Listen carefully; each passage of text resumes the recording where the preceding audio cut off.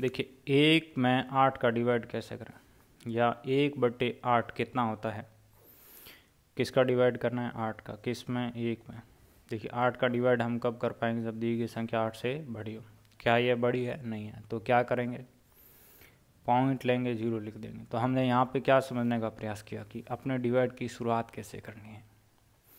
अब ये आठ से बड़ा है? यस तो शुरू कर देते हैं। आठ का टेबल कितनी बार लें कि दस से बढ़ाना है? देखिए, एक आठ आठो बे आठ आठ दो बार लिया, दस से बढ़ा गया। लेकिन कितना? एक बार लेते हैं। कितना आ रहा है? आठ। फिर हमने घटाया, दो आ गया। पॉइंट हमेशा ध्यान रखिए, हमें केवल एक बार ही लगाना है। उसके बाद घटाते जो संख्या है, इसके साथ ज़ीरो लिखेंगे। भाग गया, दो बार कितना आ गया? सोलह। माइनस किया, चार आ गया। पॉइंट लगा रखा, ज़ीरो आ गया। आठ पंजा कितना होता है? चालीस। तो भाग गया पाँच बार आ गया चालीस घटाया, कुछ नहीं बचा। ये आपका क्या है? आंसर है, यानी भागफल है। इसके बराबर हम अपना आंसर लिखते हैं।